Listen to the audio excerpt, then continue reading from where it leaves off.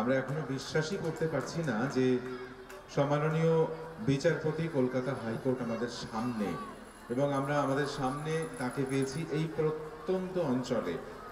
সত্যি এটা একটা অভাবনীয় ব্যাপার, আমরা আমরা যারা রয়েছি আমাদের কাছে এটা একটা বহুদিন পর্যন্ত মনে রেখে দেবার মতো ব্যাপার যে আমরা আমাদের মাঝে পেয়েছি সম্মাননীয় বিচারপতি কলকাতা হাইকোর্ট জনাব শহীদুল্লাহ মুন্সি সাহেবকে। আমরা শুনব তাঁর কথা এবং আপনাদের কাছে অনুরোধ করব অত্যন্ত মন দিয়ে শুনবার জন্য। আমরা অনুরোধ জানাই সম্মাননীয় বিচারপতি, কলকাতা হাইকোর্ট মাননীয় জনাব শহীদুল্লাহ মুন্সি সাহেবের কাছে।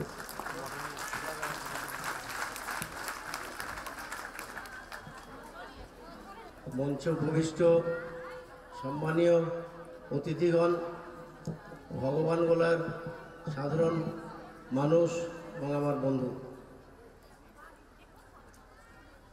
অ্যাক্সেস টু জাস্টিস, যে টপিক নিয়ে আজকে বলার কথা, এখন এই যে ক্রাউড, যে ভিড়, মানুষের যে আগ্রহ, সেটা দেখে আমার মনে হচ্ছে যে অ্যাক্সেস টু জাস্টিস যে টপিকটা, সেটা এখন গৌণ হয়ে গেছে। প্রাইমারিলি যেটা হচ্ছে, সেটা ভগবান গোলার এই আয়োজকরা সিটিজেন্স ফর জাস্টিস তারা যেভাবে আয়োজন করেছে, তা দেখে আমার মনে হয় এরকম একটা প্রাণচঞ্চল অনুষ্ঠান। যদি আমি না আসতাম, তাহলে সারা জীবনের জন্য আমাকে আক্ষেপ করতে হতো। আর এই যে উপস্থিতি, এত ব্যাপক উপস্থিতি পার্টিকুলারলি যে ঘরের মহিলা, যারা বাইরে বেরোনোর সুযোগ পান না বা যেতে চান না, তারা বাড়ির কাজকর্ম ছেড়ে এসে এই অ্যাক্সেস টু জাস্টিসে পার্টিসিপেট করতে চেয়েছেন। তা দেখে আমার মনে হয়েছে যে সত্যি ভগবান গোলায় আজকে বুঝি ভগবান অবতীর্ণ হয়েছে তো এইরকম একটা সুন্দর জায়গায় আমাকে আনার জন্যে যিনি সাহায্য করেছেন বা যিনি এনেছেন, সে অরিন্দমের কাছে আমি কৃতজ্ঞ থাকলাম। অরিন্দম না থাকলে হয়তো আমার আশা হতো না। যাই হোক, বক্তৃতা খুব বেশি করার নেই, খুব ছোট বক্তৃতা হবে আজকে। অ্যাক্সেস টু জাস্টিস, অ্যাক্সেসের বাংলা কথা হচ্ছে যে আপনি এগোবেন কীভাবে? ঢুকবেন কীভাবে? আপনার এন্ট্রি কীভাবে হবে? আর কোথায় জাস্টিস বিচারে। তাহলে বিচার পাওয়ার জন্য আপনার পথ কি? কোন পথে এগোলে আপনি বিচার পাবেন? তো সেই অ্যাক্সেসটা তখনই সহজ হবে যখন মানুষের সঙ্গে অ্যাডমিনিস্ট্রেশনের যে ডিস্ট্যান্স দূরত্ব, সেই দূরত্বটা কমে যাবে।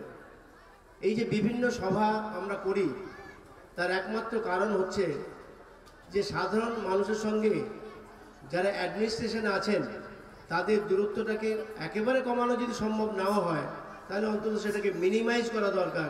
যত মিনিমাইজ করা যাবে, যত কম করা যাবে, তত কিন্তু মানুষ বিচারের প্রতি আগ্রহী হবে। তাদের আগ্রহটা বাড়বে। সেই আগ্রহ বাড়বে কেন? বিচার আপনি পাবেন না কেন? ভারতবর্ষ চলে তার নিজস্ব গতিতে।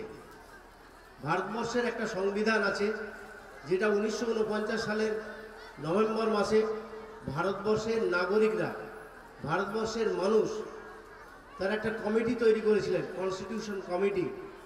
সেই কমিটি একটা কনস্টিটিউশন অ্যাডপ্ট করেন এবং নভেম্বর উনিশশো উনপঞ্চাশ সালে সেই সংবিধানটাকে দেওয়া হয় ভারতবর্ষের সিটিজেনদের উদ্দেশ্যে, মানুষের উদ্দেশ্যে।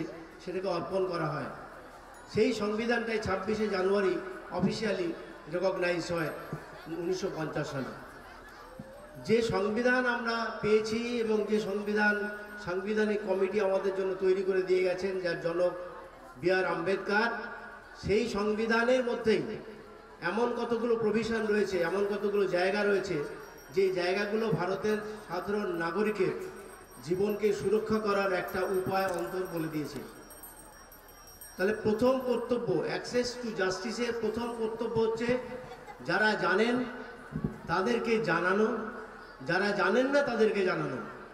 আমরা যারা কিছু জানি, তারা যদি আরেকজনের কাছে এটা কমিউনিকেট করতে পারি,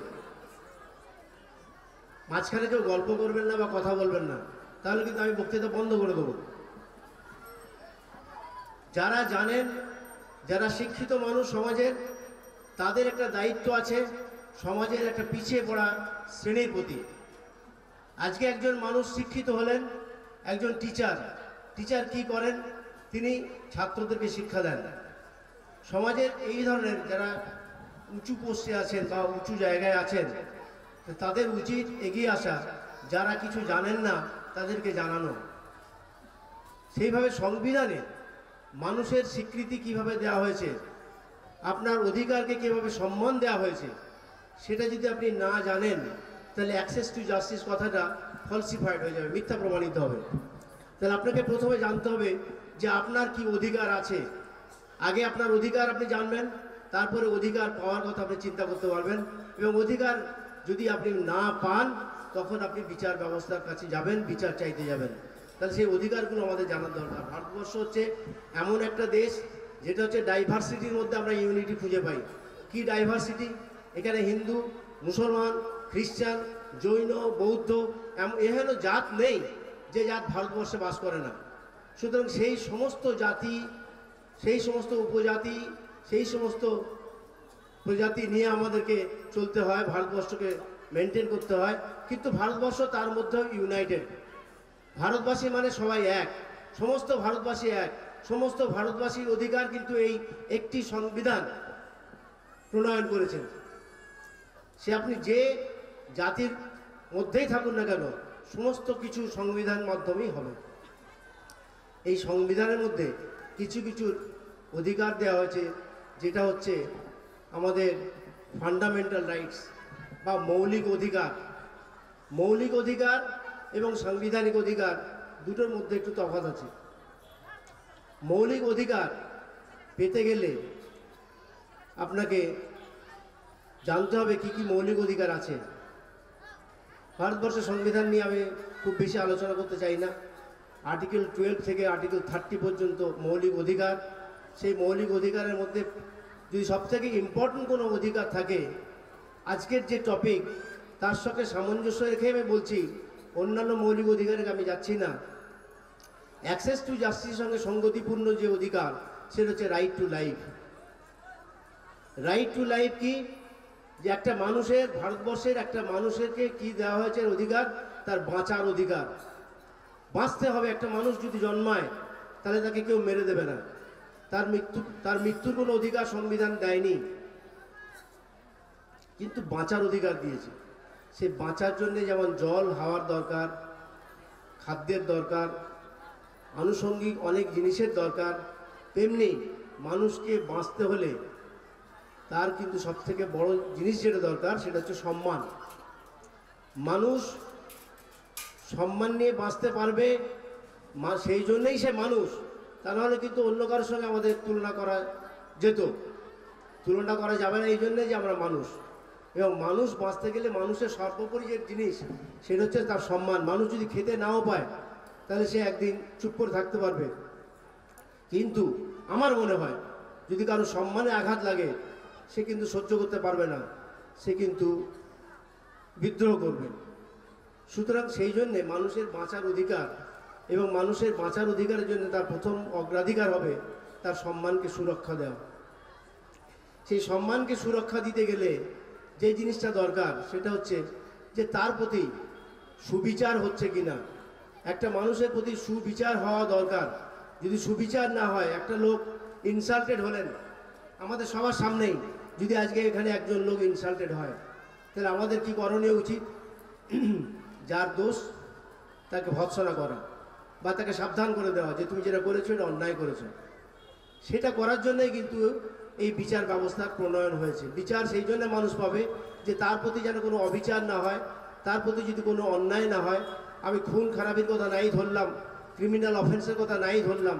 যদি সিভিল অফেন্সই ধরি, তাহলে মানুষের যে সম্মান মানুষের যে অধিকার, সেটা যেন বঞ্চিত, সে বঞ্চিত না হয়। আর কি হবে? বাঁচার অধিকারের জন্য বিচারের দরকার।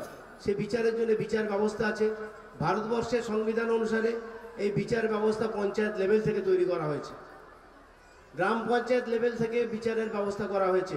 গ্রাম পঞ্চায়েত, থানা, বিডিও অফিস থেকে আরম্ভ করে SDO office, district magistrate office, তারপরে কিন্তু আদালত ও আছে খোলা। আদালতে আপনি যেতে পারেন।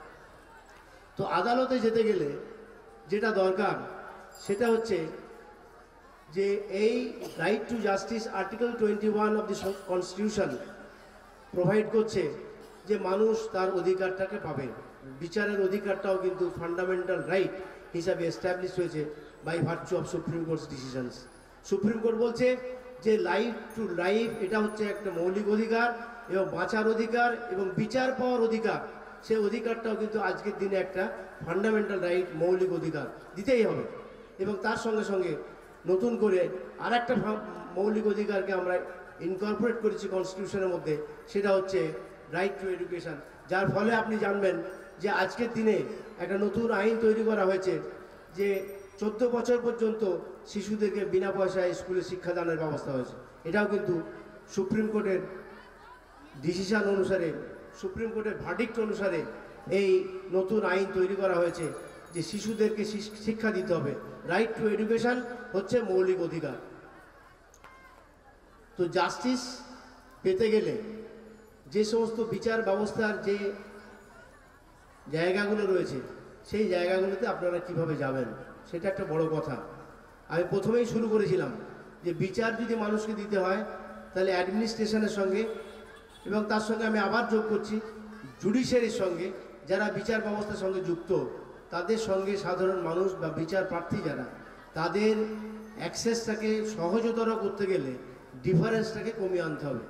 আজকে মানুষ কোর্টে যেতে ভয় পায়, কেন? কোনো অজানা কারণ আছে, যার জন্য মানুষ কোর্টে যেতে ভয় পায়। এমনও অনেক লোক আছেন গ্রামে, যারা কোর্টে গিয়ে উকিলবাবুর সামনে হাজির হতে পারেন না। তারা আবার আরেকটা লোকের মাধ্যমে তাকে উকিলবাবুর কাছে যেতে হয়। তার মানে আমরা কতটা পিছিয়ে আছি চিন্তা করুন। আমাদের নিজেদের মনের দুঃখ, ক্ষোভ, এটা আমরা জানাতে পারছি না যেখানে গেলে বিচার পাবো। সেই জন্যে কিন্তু উনিশশো সাতাশি সালে একটা আইন তৈরি করেছে ভারতবর্ষ। সেই আইনটা হচ্ছে লিগাল সার্ভিসেস অথরিটিজ অ্যাক্ট সেই লিগাল সার্ভিসেস অথরিটিজ অ্যাক্টের মধ্যে দিয়ে সমস্ত গ্রামে গ্রামে যাতে বিচার পৌঁছে দেওয়া যায়, তার ব্যবস্থা করা হয়েছে। প্রত্যেকটা লিগাল এড কমিটি করা হয়েছে। প্রত্যেকটা আদালতে লিগাল এড কমিটি রয়েছে। গ্রাম পর্যায়ে বিডিও ব্লক লেভেল পর্যায়ে লিগাল এড ভলেন্টিয়ার্স তৈরি করা হয়েছে। যাদেরকে সরকার পয়সা দেয়, তাদের একটা ফিজ দেওয়া হয়। সেই লিগাল এড ভলেন্টিয়ার রয়েছে, তাদের কাছে সাধারণ মানুষ যেতে পারে। আপনি ব্লকে গেলে পাবেন, সেই legal aid para paralegal aid volunteers রয়েছে, যারা আপনাদেরকে আইনি সহায়তা দান করবে। তারা আপনাকে গাইড করবে কোন পথে গেলে। ধরুন একটা ঘটনা ঘটে গেল। সেই ঘটনা ঘটে যাওয়ার পরে একটা এফআইআর লিখতে হবে। একটা এফআইআর লিখতে গেলে সেটা হয়তো আপনার ক্ষমতার মধ্যে কুলোচ্ছে না। সেই প্যারালিগাল ভলেন্টিয়ারের কাছে গেলে তিনি পথ দেখাবেন আপনাকে কীভাবে আপনি থানায় যাবেন বা আরও উচ্চপদস্থ অফিসারের কাছে যাবেন। সেই রাস্তাটা তিনি বলে দেবেন, আপনাকে গাইড করবেন। কিন্তু তার জন্য যোগাযোগের দরকার। যদি রেগুলার ব্লক ডেভেলপমেন্ট অফিসে আপনার যোগাযোগ না থাকে, তাহলে আপনি এই সুযোগগুলো থেকে বঞ্চিত হবেন। প্রতিটি আদালতে লিগাল এড সার্ভিসেস কমিটি আছে। এবং সেখানে সরকারিভাবে সরকারিভাবে একটা প্যানেল লয়ার থাকে, যারা যে সমস্ত মানুষের ইনকাম নেই, গরিব, সাধারণ মানুষ, যারা বিচারের জন্য কোর্টে যেতে পারে না, যারা বিচারের জন্য উকিলবাবু নিযুক্ত করতে পারেন না, যাদের সোজা কথায় যাদের পকেটে পয়সা নাই, এরকম লোক যাতে বিচার থেকে বঞ্চিত না হয়, তাদের জন্য এই লিগাল এড কমিটির ব্যবস্থা করা হয়েছে। এই লিগাল এড সার্ভিসেস কমিটির মধ্যে এক গ্রুপ উকিলবাবু রয়েছেন, যাদের ফিস দিতে হয় না। আপনি মামলা করবেন, কিন্তু আপনার মামলা লড়বেন সেই উকিলবাবু। উকিলবাবু ফিস পাবেন সরকারি তরফ থেকে, সরকারের তরফ থেকে তিনি ফিস পাবেন। তিনি আপনার কাছ থেকে ফিস নিতে পারবেন না। এই যে ব্যবস্থা রয়েছে লিগাল এড সার্ভিসেস অথরিটিজ অ্যাক্টের মাধ্যমেই এই ব্যবস্থাটাকে প্রণয়ন করা হয়েছে। সেই ব্যবস্থা যে সরকার করেছেন, যদি আজকে যার জন্যে সেই আইনের বেনিফিশিয়ারি সেই আইনি আইনের উপভোক্তা হচ্ছেন আপনারা, সাধারণ মানুষ। তো সাধারণ মানুষের জন্য যদি একটা আইন তৈরি করা হয় এবং সেই আইন যাদের জন্য তৈরি করা হয়েছে, তারা যদি তার উপকার না পান, তাহলে সে আইনের কোনো মানে থাকে না। সে আইনটা বৃথা হয়ে যাবে। সেই জন্য সেই আইনি ব্যবস্থাটাকে কার্যকরী করা দরকার। যার জন্য ওই লিগাল এড সার্ভিসেস কমিটির মধ্যে থেকে, তরফ থেকেই এই সমস্ত উদ্যোগ নেওয়া হয়, যাতে বিভিন্ন গ্রামে গ্রামে এই লিগাল এডের কথাবার্তাগুলো ছড়িয়ে দেওয়া যায়। অ্যাওয়ারনেস প্রোগ্রাম করা হয়। একজন মানুষ অসুস্থ হলে কোথায় যান? প্রথমে ডাক্তারের কাছে যান ক্লিনিকে যান ডায়াগনস্টিক সেন্টারে যান। সেই রকম আইনের যে দুর্বলতাগুলো আছে, আইনের যে অধিকার আছে, যে বিচার ব্যবস্থা আছে, সেটা জানার জন্য এই লিগাল এড ক্যাম্প করা হয়। এটা একটা লিগাল এড ক্লিনিক বলি আমরা।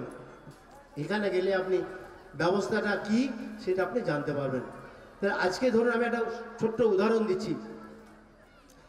যেটা গ্রামে গঞ্জে প্রায়শই ঘটে থাকে।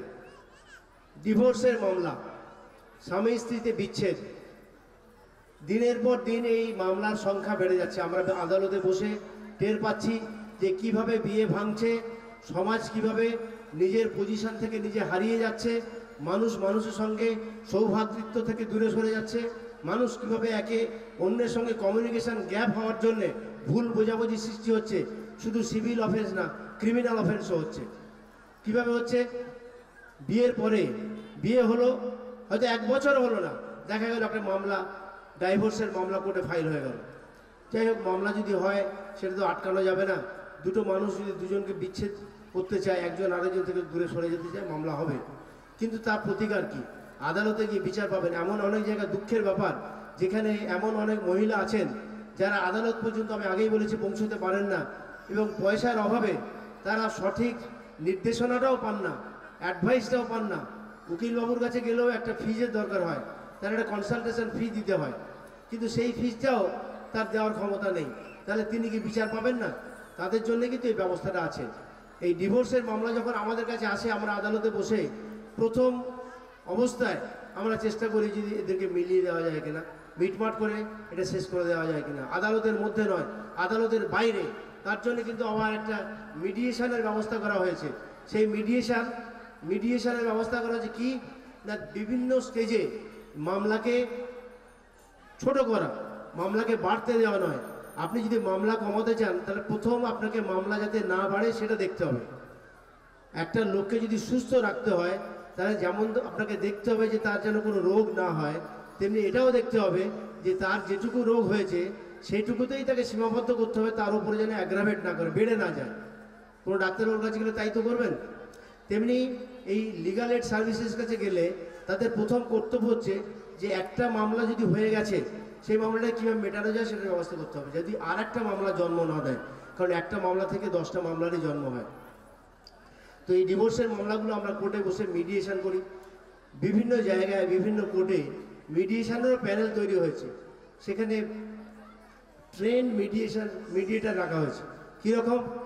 মানে আমি আপনাকে যদি বোঝাই যে এটা ভালো কাজ, আপনি এটা করুন, আপনি আমার কথা শুনবেন না। কিন্তু এমন একজন লোককে দরকার যে আপনাকে বোঝাতে পারবে। আপনার সঙ্গে বন্ধুর মতো ব্যবহার করবে, আপনার সঙ্গে, আপনার মনের সঙ্গে মিশে গিয়ে আপনাকে বোঝাতে পারবে। তাদেরকে বলা হয় মিডিয়েটার এখন সরকারি তরফ থেকে সেই সমস্ত মিডিয়েটারকে তারা উকিলবাবু বা কোনো লোয়ার কোর্টের জজ তাদেরকে মিডিয়েশন কমিটির মধ্যে রাখা হয়েছে। তাদেরকে দিয়ে এই মামলা নিষ্পত্তি করা হচ্ছে আদালতের বাইরে। আদালতের মধ্যে নয়। আদালতের বাইরে যাতে মামলা নিষ্পত্তি হয়, সেই মিডিয়েশন করা আর এই এই যে মিডিয়েটার যারা হয়েছে, তাদেরকে ট্রেনিংয়ের ব্যবস্থা করা হয়েছে। তাদেরকে প্রপার ট্রেনিং দেওয়া হয়। সেই ট্রেনিং দিয়ে বোঝানো হয় যে কীভাবে, ধরুন স্বামী স্ত্রীর মধ্যে বিভেদ হলো। কীভাবে তাদের দুজনকে একসঙ্গে বসিয়ে মিটমাট করে মামলাটা মিট মিটমাট করে দেওয়া যায়, সেটা মিডিয়েটাররাই পারবে মিডিয়েটার দিয়ে। তো আদালতে যখন আমাদের কাছে ডিভোর্সের মামলা আসে, তখন আমরা পার্টিদেরকে জোর করেই পাঠিয়ে দিই মিডিয়েটার কাছে। অর্ডার দিয়ে দিই যে এটা মিডিয়েটারের কাছে প্লেস করা হোক। দু মাস পরে আমার কাছে আবার ফেরত আসুন যদি মিডিয়েশনে মিটে গেল, ভালো। যদি না মেটে, তখন তাহলে আদালত আইন অনুসারে যা ব্যবস্থা নেওয়ার নেবে। এমন অনেক মা বোনেরা আছেন গ্রাম বাংলায়, যারা সামান্য মেনটেন্যান্সের মামলার জন্যে ভুগছেন, অথচ কোনো রিলিফ পাচ্ছেন না। এরকম বহু হাজার হাজার মামলা আদালত রয়েছে যারা ডিভোর্সের মামলায় দরখাস্ত করেছেন ওয়ান টোয়েন্টি ফাইভে দরখাস্ত করেছেন মানে মেনটেন্যান্সের জন্য মামলা করেছেন, কিন্তু তার কোনো উপকার পাচ্ছেন না, কোনো কিছুই হচ্ছে না। তাহলে সে সমস্ত ক্ষেত্রে আপনারা আদালতের কাছে যেখানে ম্যাজিস্ট্রেট করে যদি ওয়ান টোয়েন্টি ফাইভের প্রসিডিং পেন্ডিং থাকে, তাহলে সেখানে যান গিয়ে দেখুন, ওখানে লিগাল এড কমিটি আছে। লিগাল এড কমিটির সঙ্গে বা আদালতে যারা রয়েছেন, তাদের সঙ্গে যোগাযোগ করুন। তারা আপনাদের বলে দেবে যে লিগাল এড কমিটির অফিসটা আদালতের মধ্যে কোথায় আছে। তাদের সঙ্গে যোগাযোগ করলে তারা আপনাদেরকে বিনা পারিশ্রমিকে কোনো উকিলবাবু দিয়ে দেবেন প্যানেল থেকে এবং সেই উকিলবাবু আপনার মামলাটা লড়বেন। অপরপক্ষে যিনিই থাকুন না কেন, আপনার হয়ে লিগাল এড কমিটির একজন উকিলবাবু আইনি সাহায্য দেবেন এবং আদালতের কাছে বলবেন। এছাড়াও বর্তমান অবস্থায় যেটা আমরা আদালতে এখনও এনকারেজ করি, উৎসাহ দিই মানুষকে, সেটা হচ্ছে যখন কোনো মহিলা হোক, পুরুষই হোক, কোনো লিটিগেন্ট যার মামলা পেন্ডিং আছে, তিনি যে কোনো কারণে হোক উকিল বাবু রাখতে পারছেন না, তখন তিনি হাত জোড় করে আদালতের কাছে বলেন, হুজুর, আমার এই অবস্থা। আমরা কিন্তু তাকে ফিরিয়ে দিই না। আদালতে আমরা বলি, ঠিক আছে, আপনি বাংলাতেই বলুন, আপনার বক্তব্যটা বলুন, আমরা শুনব। শুনে আমরা কিন্তু বিচার করি। অপর সাইডে অন্য পক্ষে উকিলবাবু আছেন, এক পক্ষে হয়তো একজন নিজে দাঁড়িয়ে তারা মামলা করছেন। এই ব্যবস্থাটাও কিন্তু আজকে, আজকের দিনে অভাবনীয় হলেও কিন্তু হাইকোর্টের মতো জায়গাতেও এখন লোকে কিন্তু পার্সোনাল অ্যাপিয়ারেন্সে নিজের মামলা নিজে করছেন। এটাকে আমরা এনকারেজ করি এই জন্যে যে তিনি তার বক্তব্য বলুক, তার বলার অধিকার আছে। সেই অধিকারটাকে সম্মান দেওয়া দরকার। যার জন্যে আজকে দেখবেন যে অসুবিধার সম্মুখীন ছিল আজ থেকে দশ বছর বা পনেরো বছর আগে, সেই অসুবিধার সম্মুখীনটা কিন্তু আজকে আর মানুষ এতটা হন না। তারা কিন্তু বিচার পাচ্ছেন। তবে এইভাবে যদি ক্যাম্প করা হয়, বিভিন্ন জায়গায় জায়গায় সাধারণ মানুষকে ভুলে বোঝানো হয় যে কেন আপনি বিচার পাবেন, বিচার পেতে গেলে কি কি অসুবিধা আছে সেগুলো কীভাবে সহজে দূর করা যায়, তাহলে কিন্তু আমার মনে হয় মানুষের উৎসাহ বাড়বে এবং তারা তাদের বিচারটাও পাবেন। কারণ একটা সভ্য সমাজে কখন এটা ভাবা যায় না যে একটা লোক আর একটা লোকের অধিকারকে সম্মান দেবে না। যদি বাঁচার অধিকার স্বীকৃত হয় সংবিধানে, তাহলে একটা লোকের সম্মান নিয়ে বেঁচে থাকার অধিকারটাকেও স্বীকৃতি দিতে হবে। এবং সেই সম্মান নিয়ে বেঁচে থাকার অধিকারটাকে স্বীকৃতি দিতে গেলেই রাইট টু জাস্টিসের কথা আসে। কারণ আমরা সংবিধানে প্রতিজ্ঞাবদ্ধ। ভারতবর্ষের সংবিধান আমার বলেছি নিজেরাই যে যে সংবিধান আমরা তৈরি করলাম, আমাদের সংবিধানে রাইট টু জাস্টিস থাকবে। আমরা ডেমোক্রেটিক দেশ আমাদের গণতান্ত্রিক অধিকার আছে, আমরা রিপাবলিক দেশ, আমাদের রিপাবলিক অ্যাটিচিউড থাকা উচিত। কিন্তু সেটা থাকলে পরেই, তবে কিন্তু সাধারণ মানুষকে সম্মান দেওয়া হলো, মানুষ তার বিচার পাবে।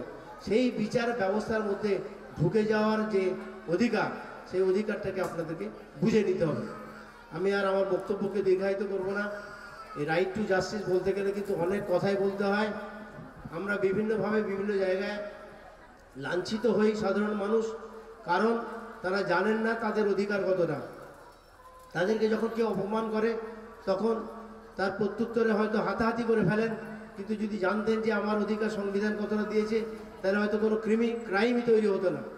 তিনি তার অধিকারটাকে, সিভিল রাইটটাকে এস্টাবলিশ করতে পারতেন। কিন্তু আনফর্চুনেটলি আমাদের দেশের সমস্ত মানুষ এখনও সেইভাবে শিক্ষিত হননি। শিক্ষার হার সেইভাবে কিন্তু এখনও বাড়েনি। যাতে বাড়ে আপনাদের সবাদের, সবার কাছে আমার সেই অনুরোধ থাকবে, আপনারা যাতে শিক্ষার হার বাড়ে, সেই ব্যবস্থা করুন। এবং সেই সঙ্গে সঙ্গে এই সমস্ত আইনি পরিষেবার অধিকারগুলোকে নিন। শুধু মেনটেনেন্সের মামলা না, ডিভোর্সের মামলা না, আপনার পারিবারিক অন্যান্য সমস্যা, আপনার জমি এনক্রোচমেন্ট হয়েছে, একটা আপনার জমি, সেই জমির উপর জোর করে আর একটা লোক ঢুকে পড়েছে। আপনি কি করবেন সেখানে? সেখানে একটা মামলা করবেন, প্রথমে একটা এফআইআর করবেন, যে একটা লোক জবরদখল করে ফেলছে, আপনার জায়গায় জোর করে অধিকার করে নিয়েছে। আপনার বাড়ির একটা ফাঁকা ঘর আছে একজন কেউ দখল করে নিয়েছে। সেটা হাউস ট্রেসপাসিংয়ের একটা ক্রাইমও হতে পারে। সেটা সিভিল আইনেও সেটাকে একটা ট্রেসপাসিংয়ের সিভিল আইনে সেটা একটা এনক্রোচমেন্টের মামলাও হতে পারে। সেটা একটা ডিক্লারেটরি সুটও হতে পারে।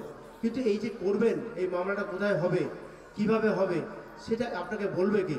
যদি আপনার সে ক্ষমতা না থাকে, আদালতে গিয়ে একজন উকিলবাবুর সাহায্য নেওয়ার ক্ষমতা যদি না থাকে, তাহলে আপনাকে এই লিগাল এড কমিটির মাধ্যমে আপনাকে এগোতে হবে। সেই জন্য ব্লকে ব্লকে যে প্যারালিগাল ভলেন্টিয়ার্স রয়েছে, সেই সমস্ত প্যারালিগাল ভলেন্টিয়ার্সদের সাহায্য নিয়ে আপনারা লিগাল এড কমিটি প্রতিটি লোকাল আদালতে, সে সিভিল জাজ জুনিয়র ডিভিশন হোক সিভিল জাজ সিনিয়র ডিভিশন হোক ডিস্ট্রিক্ট জাজ হোক হাইকোর্ট হোক, সুপ্রিম কোর্ট পর্যন্ত এই লিগাল এড কমিটির ব্যবস্থা করা আছে। এবং কতগুলো ক্রাইটেরিয়া আছে, যে ক্রাইটেরিয়ার মধ্যে আপনি যদি পড়েন, আপনি যদি মহিলা হন, আপনার ইনকাম যদি একটা সার্টেন লেভেলের নিচে হয় আপনি যদি গরিব সাধারণ মানুষ হন, তাহলে সুপ্রিম কোর্ট পর্যন্ত বিনা পয়সায় আপনি কিন্তু বিচার পাবেন। সেই জন্যেই আপনার অধিকারটাকে আপনাকে জানতে হবে এবং আপনারা এইভাবে যদি এগোতে পারেন, তাহলে আলটিমেটলি যে বিচারটা আপনি চাইছেন, সেই বিচারের বাণী নীরবে নিভৃতে আর কাঁদবে না। কবিগুরু অনেক দিন আগে বলে গিয়েছিলেন যে বিচারের বাণী নীরবে নিভৃতে কাঁদে। কিন্তু আজকের দিনে সেই কথাটাকে মিথ্যা প্রমাণ করতে হলে সংবিধানটাকে প্রণয়ন করতে হবে, সংবিধানের অ্যাপ্লিকেশন করতে হবে এবং সংবিধানটাকে মানতে হবে। আজকের যে টপিক যে রাইট অ্যাক্সেস টু জাস্টিস তার মধ্যে আরেকটা পার্ট কিন্তু রয়েছে যেটা আমাকে এখনও আমি এখনও বলতে পারিনি। সেটা হচ্ছে যে দায়িত্ব। একটা মানুষ যখন তার অধিকার চায়, আপনি যদি সাংবিধানিক অধিকার চান, তাহলে সাথে সাথে সাথে কিন্তু একটা প্রশ্ন আসে rights and obligation run side by side আপনি যদি একটা অধিকার চান, আমি একটা সাধারণ কথা আপনাদের বলছি। যদি আজকে আপনি আপনার একটা বাচ্চাকে মানুষ করছেন, বাচ্চাকে মানুষ করা আপনার দায়িত্ব। বাচ্চা বলবে, এটা আমার অধিকার। যেহেতু আমি পৃথিবীতে এসেছি, এটা বাবা মাকে, বাবা মার দায়িত্ব আমাকে মানুষ করা। কিন্তু করসপন্ডিং ডিউটি একটা থাকে তো। যদি বাবা মা ছেলেটাকে মানুষ করে তাহলে ছেলের কাছ থেকেও বাবার কিছু চাওয়ার থাকে, বাবা মায়ের কিছু পাওনা থাকে, অধিকার থাকে। তাহলে বাবা যদি, বাবা বা মা যদি ছেলের প্রতি সে দায়িত্ব পালন করে তাহলে ছেলেরও বোঝা উচিত যে বাবা মায়ের প্রতি আমার কিছু কর্তব্য আছে, সেটা না বললেও তার পালন করা উচিত। তেমনি যদি সংবিধানের অধিকারকে আমরা বাস্তবায়ন করতে চাই, তাহলে সাংবিধানিক অধিকারকে বাস্তবায়িত করতে গেলে আমাদেরকে কিন্তু কিছু দায়িত্ব আছে। সেই দায়িত্বটা হচ্ছে কনস্টিটিউশনাল ডিউটি ফান্ডামেন্টাল ডিউটিস বলে তাকে। সংবিধানের একান্ন এ ধারায় সেই সাংবিধানিক দায়িত্বগুলো দেওয়া আছে। মোট এগারোটা দায়িত্ব দেওয়া আছে। প্রতিটি দায়িত্ব পড়ে শোনাতে গেলে অনেকটা সময় লাগবে, আমি সেটা বলছি না। যাই হোক, সেই দায়িত্বগুলো পালন করতে হবে। তার মধ্যে যে সমস্ত দায়িত্ব প্রাইমারিলি আছে সেগুলো জানা দরকার। এক, আমরা ভারতবর্ষের নাগরিক হিসাবে ভারতবর্ষের যে জাতীয় পতাকা, সেটাকে আমরা সম্মান করব। সর্ব অবস্থায় যে কোনো অবস্থায় একটা মানুষ যদি অচেতন না হয়ে পড়ে, যদি সচেতনতা তার মধ্যে থাকে, যদি অচেতনতা না হয়, সে যদি আনকনসিয়াস না হয়, কোমায় যদি না চলে যায়, তাহলে ভারতবর্ষের সংবিধান ভারতবর্ষের জাতীয় পতাকাকে তুলে ধরতে হবে। দুই, আপনি ভারতবর্ষের নাগরিক হিসাবে ভারতের সংবিধানকে সম্মান করতে হবে। কারণ যে সংবিধান আপনাকে এতগুলো অধিকার দিয়েছে, সমস্ত অধিকার বাঁচার যে অধিকারগুলো দিয়েছে তার মধ্যে শুধু একটা অধিকারের কথা আমি এতক্ষণ বললাম। তাহলে আপনি চিন্তা করুন, সমস্ত অধিকারের কথা বলতে গেলে কত সময় লাগবে? সেই সংবিধানকে যদি আমরা সম্মান না করি, তাহলে আমাদের অধঃপতন কেউ আটকাতে পারবে না। ভারতবর্ষে হাজার হাজার আইন এসপি সাহেব বলে গেলেন যে হাজার হাজার আইন আছে, যারা আইন পড়ে এসেছেন, তারাও সব আইন জানেন না। জজ হিসাবেও সব আইন আমি জানি না। সব আইনের ধারাও আমার জানা নেই। আমাদেরকে বই খুলে দেখে নিতে হয়। যখন যে সমস্যা আসে, সেই সমস্যা দেখতে হয়। এবং এমন অনেক আইন আছে এখনও যে আইনে মানুষের যে সমস্যা, সে সমস্যার সমাধানও নেই। তখন কিন্তু এই বিচার, বিচারকরা তখন একটা তাদের নিজস্ব কনসেন্স অ্যাপ্লাই করে তারা মানবিক অধিকারের কথা ভেবে একটা বিচার তৈরি করেন। সেই বিচারটাই, সেই ভার্ডিকটাই সেই রায় পরবর্তীকালে এই সমস্ত সমস্যার সমাধান করে। যেটা আজকের দিনে একটা সমস্যা তৈরি হলো। আমি বিচারক হিসাবে বলছি যে এত মামলা, আমি যখন অ্যাডভোকেট ছিলাম, আমি কিন্তু বিচারক হওয়ার আগে অ্যাডভোকেট ছিলাম। দীর্ঘ সময় ওকালতি করেছি হাইকোর্টে। তারপরে আমি আমাকে জাজ করা হয়। তো আমি দেখিনি একটা মামলার সঙ্গে আরেকটা মামলার কোনো মিল আছে। সেক্ষেত্রে সেই জন্যে অনেক আইন এমন- এখনও রয়েছে, যে আইনে কিন্তু সব সমস্যার সমাধান নেই। তো এই যেটা বলছিলাম সাংবিধানিক দায়িত্ব ফিফটি ওয়ান এ তার মধ্যে দ্বিতীয় যেটা আমি বললাম যে ভারতবর্ষের সংবিধানকে সম্মান করতে হবে। প্রতিটি দেশের সংবিধান আছে, আমাদের সংবিধানও আছে। সেই সংবিধানকে আমরা সম্মান করি। সমস্ত আইন ভারতবর্ষে যা তৈরি হয়েছে, সেগুলো সংবিধানের ধারা মেনেই আইন তৈরি হয়েছে। এবং কোনো আইন যদি তৈরি হয়, সংবিধান না মেনে বা সংবিধান বিরোধী কোনো আইন তৈরি হয়, তাহলে সেই আইনটাকে আমরা বিচারের ভাষায় বলি, যে এটা হচ্ছে অসাংবিধানিক আইন। এটা হচ্ছে আল্ট্রাভায়ার্স এবং সেটা হচ্ছে তার তার কোনো গুরুত্ব নেই আইনের চোখে সেটা নালান ভয়েড সে আইন কার্যকরী করা যাবে না। যদি সংবিধান মেনে সে আইন না হয়। তাহলে যারা আইন প্রণয়ন করছেন, তাদেরকে সংবিধান জানতে হবে। যারা পার্লামেন্টে বসে আছেন, যারা বিধানসভায় বসে আছেন, তাদেরকে প্রথম আইন জানতে হবে। তারপর সাধারণ মানুষকে জানতে হবে। তাহলে সেই সংবিধান যাকে অনুসরণ করে এই আইনগুলো তৈরি হয়েছে সেই সংবিধানকে আমরা মেনে চলব। দেশের নাগরিককে সম্মান দিতে হবে। দেশের নাগরিককে সম্মান দিতে হবে। কীরকম? যে আজকে আপনি যেমন আপনার পরিবারের সদস্যকে সম্মান করেন, তেমনি ভারতবর্ষের নাগরিক হিসাবে একজন নাগরিকের উচিত আরেকজন নাগরিককে সম্মান দেওয়া। যদি সেটা না দেন তাহলে ভারতবর্ষের অখণ্ডতা ন্যাশনাল ইন্টিগ্রিটি থাকবে না। ভারতবর্ষকে যদি এক রাখতে হয়, তাহলে আমি আবার বলছি, একজনকে আর একজনের সম্মান এবং তার আত্মসম্মানের কথা ভাবতে হবে এবং প্রত্যেকে প্রত্যেকের প্রতি সদয় হতে হবে, সহানুভূতিশীল হতে হবে, প্রত্যেককে সম্মান দিতে হবে।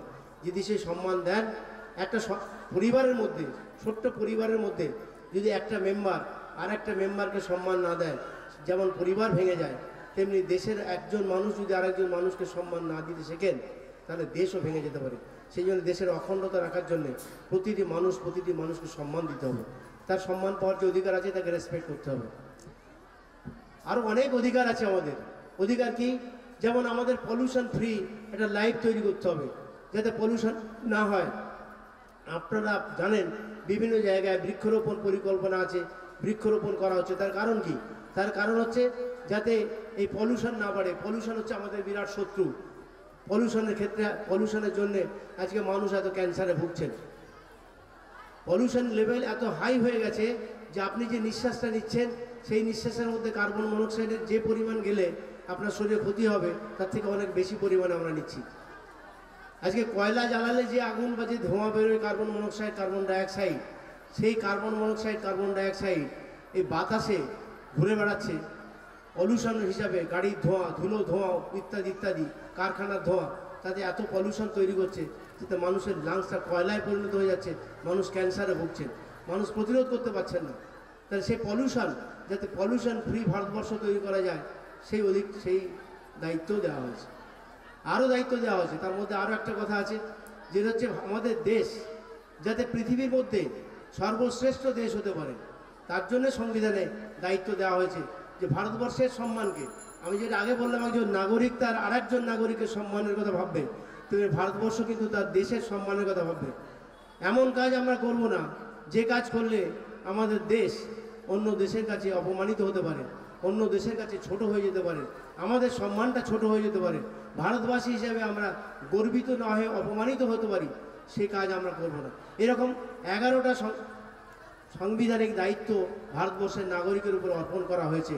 সুতরাং সেই দায়িত্ব আর এই অধিকার দুটো যদি পাশাপাশি আমরা নিয়ে যেতে না পারি, তাহলে সংবিধানের সার্থকতায় থাকে না। সেই জন্য আমি সবার কাছে এই অনুরোধই করব যে যেমন একদিকে আপনারা অধিকারের কথা ভাবেন, অধিকারের কথা আদায় করে নিতে শিখবেন, তেমনি দায়িত্বটা পালন করবেন। সাংবিধানিক সাংবিধানিক দায়িত্বটা কনস্টিটিউশনাল যে ডিউটি সেই ডিউটিটা এই ডিউটিটা কিন্তু ফান্ডামেন্টাল ডিউটি হিসেবে গণ্য করা হয়েছে।